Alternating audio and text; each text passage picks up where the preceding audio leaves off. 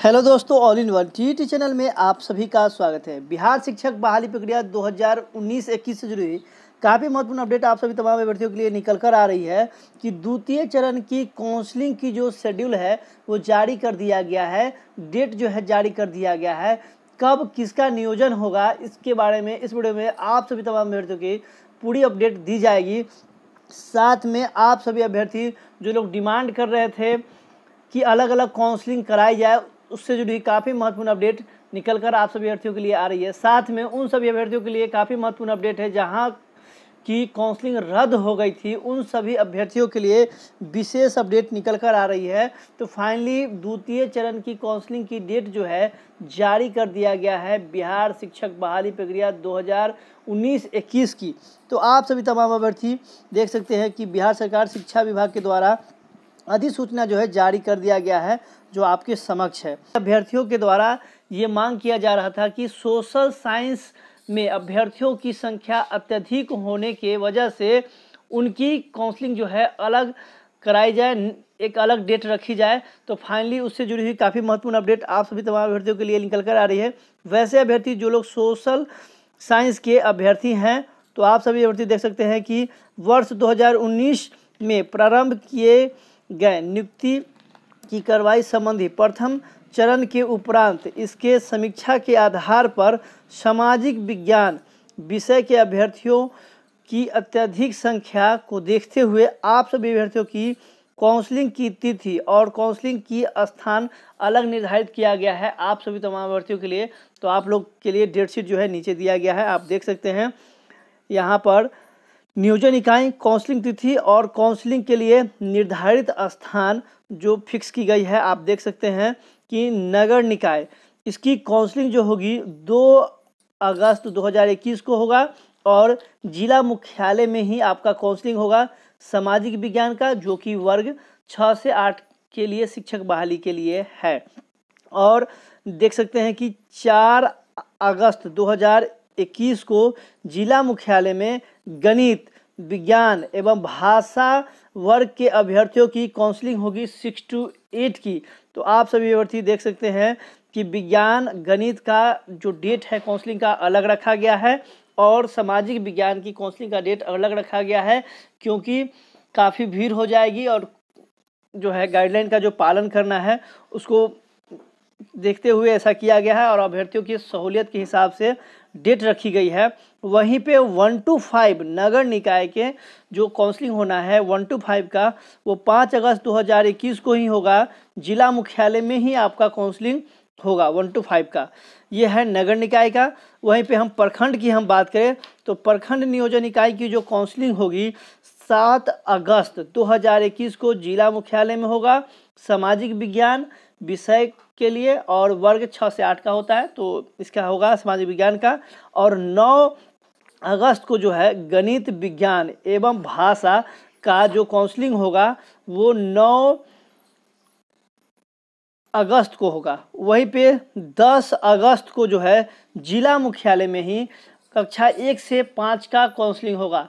तो प्रखंड में, यानी कि ब्लॉक स्तर पर जो काउंसलिंग होगा, सामाजिक विज्ञान का, वो सात अगस्त को होगा और विज्ञान, गणित विज्ञान का जो काउंसलिंग होगा, नौ अगस्त को होगा। वहीं पे दस अगस्त को वन टू फाइव का काउंसलिंग होगा। तो जो लोग वन टू फाइव के लिए ओनली काउंसलिंग कराने जा रहे हैं, वो जो हैं, दस अगस्त को जाएँगे।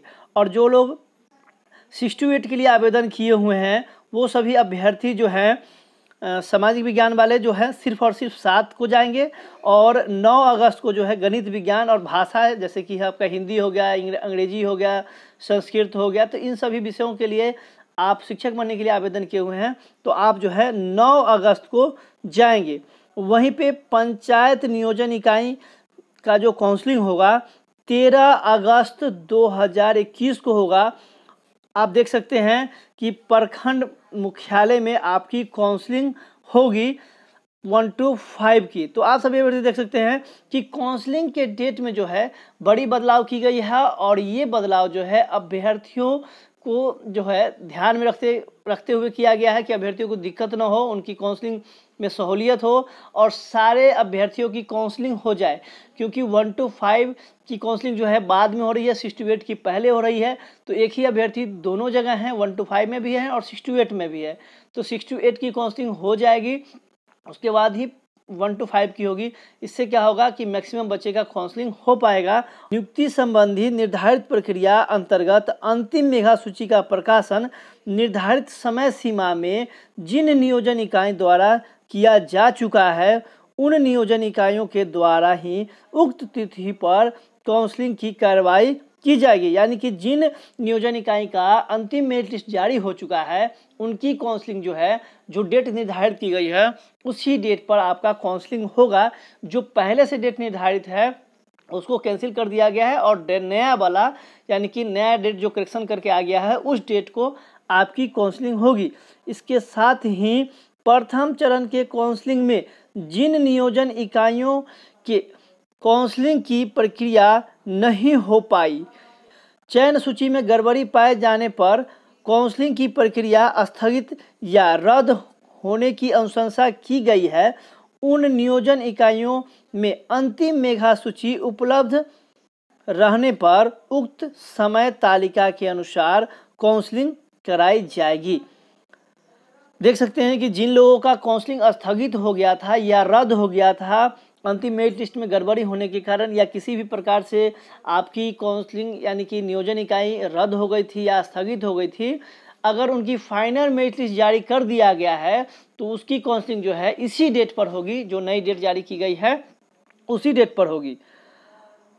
अगर उनका जारी नहीं हुआ है तो उसकी काउंसलिंग जो है तृतीय चरण में आपकी होगी। यहाँ पर मेंशन कर दिया गया है, आप देख सकते हैं। जहाँ अंतिम मेघा सूची का प्रकाशन नहीं हुआ है अथवा अन्य कोई कठिनाई हो, वैसे नियोजन इकाई की काउंसलिंग जो है, तृतीय चरण में आपकी होगी और तृतीय चरण की काउंसलिंग की डेट जो है अभी निर्धारित नहीं है।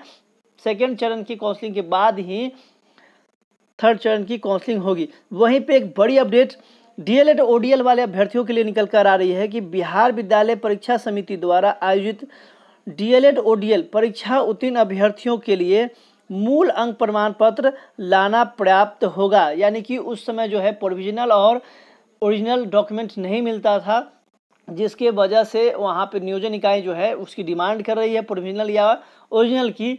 तो फाइनली ये अपडेट दे दी गई है कि जो ओडीएल यानी कि डिस्टेंस मोड से जिन्होंने डीएलएड किया है ओडीएल प्रोग्राम किया है डीएलएड का तो उन लोगों को सिर्फ़ मार्कशीट ही प्राप्त है उनके काउंसलिंग के लिए। तो आप सभी अभ्यर्थी देख सकते हैं कि बिहार राज्यपाल के आदेश के अनुसार ये जो है, संजय कुमार जो मुख्य सचिव है, अपर मुख्य सचिव, उनके द्वारा जो है ये लेटर जारी किया गया है अट्ठाईस सात 2021 के डेट में और फाइनली रिवाइज काउंसलिंग की डेट जो है जारी कर दिया गया है। आप सभी तमाम अभ्यर्थियों के लिए, वैसे अभ्यर्थी जो लोग काउंसलिंग का इंतज़ार कर रहे हैं, उन सभी अभ्यर्थियों के लिए तो नई डेट शीट जारी कर दिया गया है।